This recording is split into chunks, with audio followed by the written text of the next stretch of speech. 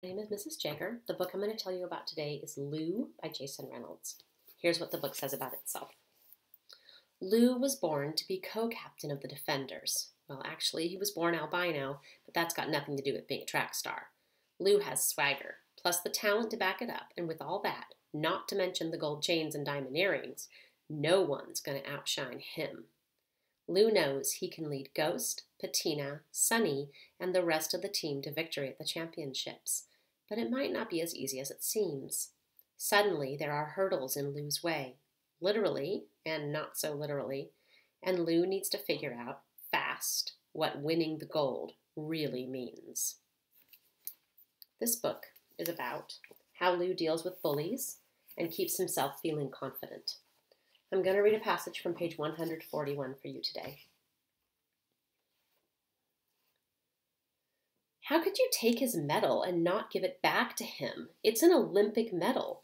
There's no way you don't know how important that is to him. That's like, I don't know, maybe the most important thing ever for somebody like Coach, for somebody like me. I know, but, but what? What could you possibly have to say? What could be the reason? I wanted to be him, Lu, he yelled back, then took a step back. I couldn't see his face.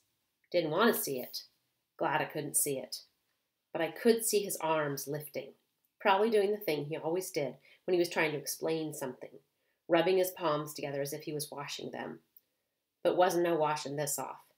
I wanted to be him. Not be him, but be like him.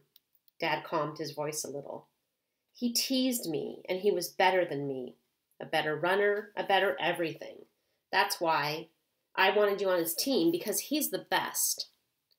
But I thought you said y'all were kids and you ain't take it personal. I don't now, but I did back then. I mean, you don't understand. My mother basically took care of him, and then around other people, he'd just trash me, say stuff like, you sound like a broken record playing a song that sounds like a scratched CD. You sound like a choking chihuahua. You sound like you need an oil change. You sound like a break beat over broken speakers. Make me want a pop lock on a cardboard box. You sound like a car radio on scan. You sound like a Michael Jackson ad lib, not the he he or the shaman. The other one. You sound like you're always about to sneeze but don't. You sound like Donald Duck imitating Daffy Duck trying to imitate Donald Duck. You sound like all these things, but you look like a goose. Yeah, you look like a goose. My father's voice was jittery, but not in the way that made me think he was about to cry. It wasn't like that, but I could tell he was feeling it. Made me know it was still stinging. I picked this passage because it shows a bit about how Lu stands up for his coach and the bullying that even his father dealt with.